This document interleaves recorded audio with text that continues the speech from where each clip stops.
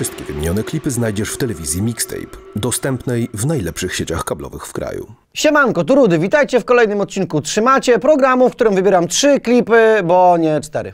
Dzisiaj będzie trochę problematycznie, później będzie życiowo, a na koniec będzie oryginalnie. Pierwszy klip nazwałem problematycznym, bo mówi o dosyć ważnym problemie. Numer nazywa się Więzień wizerunku. Jest to kawałek Zamsone, wyprodukowany przez Zamsone, zmasterowany przez Zamsone. Tu pen szacun za 360 i radzenie sobie samemu, ale jeżeli chodzi o więźnia wizerunku, to chyba jeden z najczęstszych ostatnio problemów raperów. Kiedyś tak nie było, bo każdy nawijał co u niego, a teraz jakoś się zdarza czasami, że niektórzy lepiej wyglądają niż nawijają, albo trochę podkręcają, żeby lepiej to brzmiało i Zamsone, krótko mówiąc, rozlicza wszystkich tych, którzy mają z tym problem, bo on, jak wszystko wskazuje, nie! Trzeba przyznać, że młody naprawdę dobrze nawija i tak powiedziałbym szczerze i do bólu i zgodzę się z nim, bo jest w tym numerze dużo, dużo prawdy. Może klip nie jest za miliony z dronami, samolotami i Nowym Jorkiem, ale fajnie się to ogląda, a numer naprawdę poważny, trafiony i nawinięty. Bardzo ładnie polecam, zresztą też możecie oglądać go w Mixtape TV.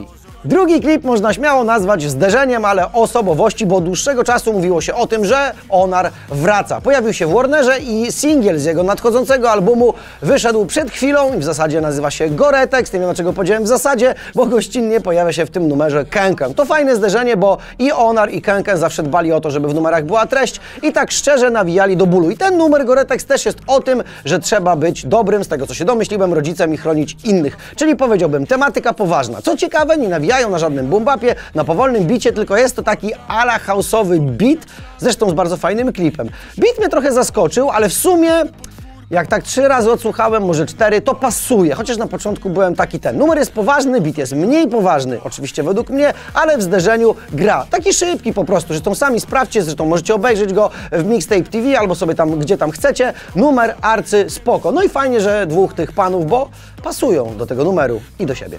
Trzeci dzisiejszy klip to ta oryginalność, bo klip jest bardzo oryginalny, numer jest bardzo oryginalny, a chodzi konkretnie o Matę i jego numer M. Jak wiemy, płyta Maty się przesunie, więc Mata zorganizował jakąś tam imprezę urodzinową i w zamian też pojawił się klip Maty M po angielsku. To pewnie jakaś taka większa gra, bo on też grał na festiwalu Wielkiej Brytanii jako Polak GBP, czyli Great Britain Poland, tak się domyślam. Zresztą jako autor tekstu też jest wpisany Polak GBP.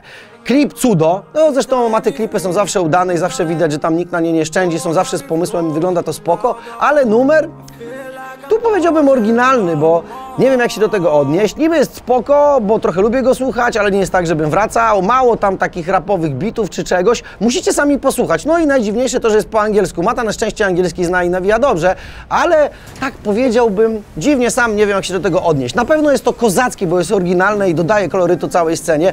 Inne, to jest ważna cecha w dzisiejszych czasach, ale czy ja będę wracał do tego numeru? No zobaczymy, bo na razie przesłuchałem parę razy i na razie jestem tak 50-50. Pogramy go trochę w mixtape'ie, też w Mixtape TV możecie go zobaczyć. Jestem ciekaw waszej opinii, jakby co opiszcie w komentarzach. No i najważniejsze, co złego to nie ja, do zobaczyska, przy okazji pozdrówki, elo, rudy.